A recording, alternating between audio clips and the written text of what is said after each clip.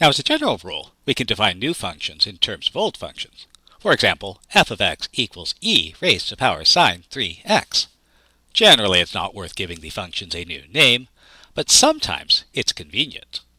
And so we define the hyperbolic sine and hyperbolic cosine function as follows. Hyperbolic sine e to the x minus e to the minus x over 2, and hyperbolic cosine e to the x plus e to the minus x over 2.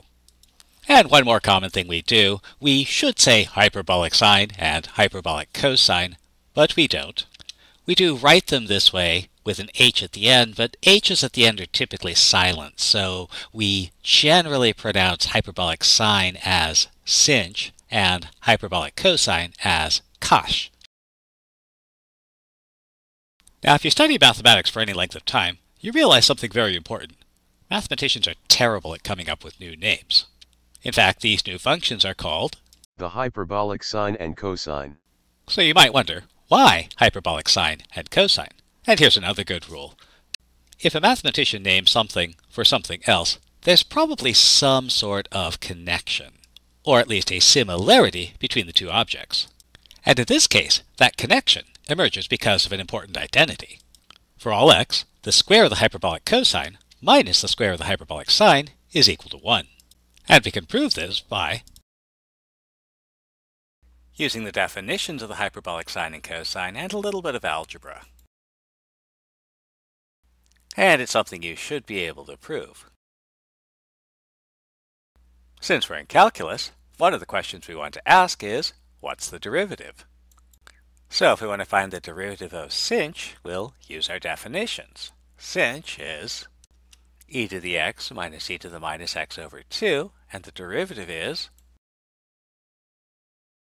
and at this point we want to ask ourselves, self, have we seen this before? And in fact, yes, yes we have. This is cosh x. And we can find the derivative of cosh x in the same way, and this gives us our derivatives of the hyperbolic functions. We can define the inverse hyperbolic functions like we define the inverse trigonometric functions. Inverse sinh isn't a problem.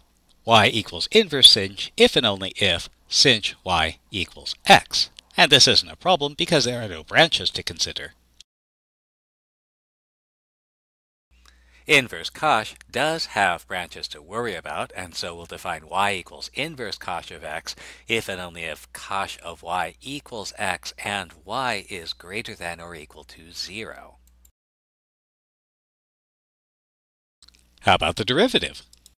So by definition, if y equals the inverse hyperbolic sine, then x is the hyperbolic sine of y.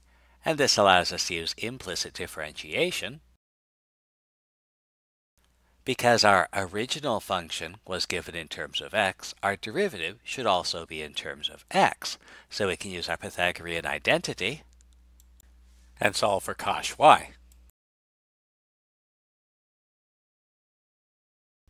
Where we take only the positive square root because cosh must be a positive number.